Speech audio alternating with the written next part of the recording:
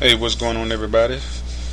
This is Stanley Parrish. Uh, today I'm going to show you real quickly how to create uh, coupons in Adobe InDesign CS5. Uh, this is a beginner tutorial, so all you InDesign gurus out there probably already know this technique. Uh, but for everybody else, let's get to it. Okay, so right now I'm in Photoshop and I created this graphic. Uh, we won't get into how I created it. Um, it's very simple uh, as you can see here. But this is just my graphic I'm going to be using uh, for InDesign. So let's head on over to InDesign real quick. Okay. Um, what you want to do now is go to file place and uh, I'm going to choose my Kobe header.psd file. And I'm just going to just click right in here drag it all the way up to the top. Okay. Now all I want to do is just throw some coupons on this baby here and call it a day. Um, okay uh, next get your type tool and just go down to the bottom here. And we're just gonna scroll across here alright and next what you want to do is go to table. Insert table. Okay well hold on just wait a minute. Let's let's go back let's go back here. Okay I know some of you are like okay why do I have to do all of that uh, just create, just, just to create a coupon? When all I have to do is drag out a box and just add an outline to it a dashed outline. Right that's you could do it that way. Um, you can just copy it and duplicate it over and over again like that. Um, but I think this other way looks a little better. So alright. Take your type tool again. And just drag across your page here. Okay next go to table insert table. And I'm just gonna you can choose whatever you want here. I'm gonna choose two rows and four columns. Uh, hit OK. You see here I have my uh, two rows of table cells here and I want them bigger. So we're gonna just select uh, all of our cells here.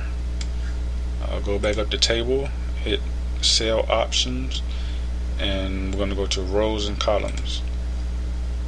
Okay? Row height we're going to choose exactly and we just just just make it you know whatever size you want. Um, let's see. Okay that's looking pretty good. Uh, hit OK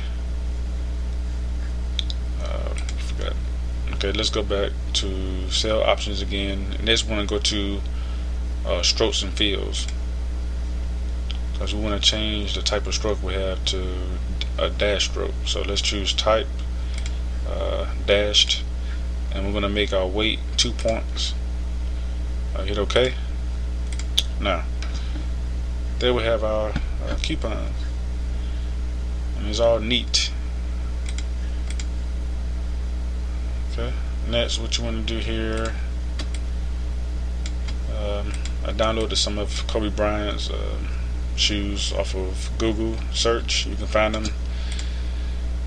So you just drag it over here like so. And we're going to drag our text over here like that. And there you have a, a basic coupon. And you can just copy it. Let's see. Uh, let's lock this down. Okay, we're just going to take this and just copy it over.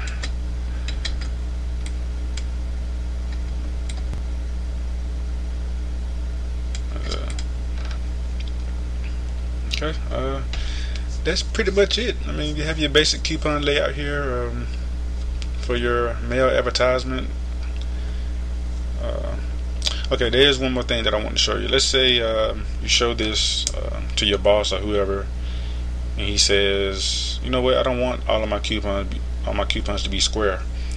Um, let's make the one on the right side a vertical coupon. Okay. It's, it's very easy to do. All you want to do is select your cells right here on the end. Up, grab your type tool. Just click in here. Just okay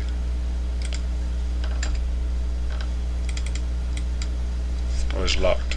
Unlock it. Okay. Now drag and select both of your cells on the right. And go back up to table and hit uh, merge cells. You know merge both of your cells again now see? You have a vertical ad here vertical coupon. And you can just copy this over here and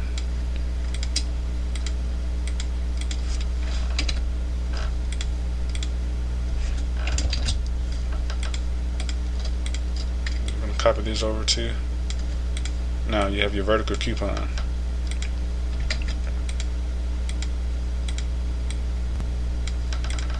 Okay so uh, that's pretty much it. Um, hope you learned something. Um, I guess I'll see you guys next time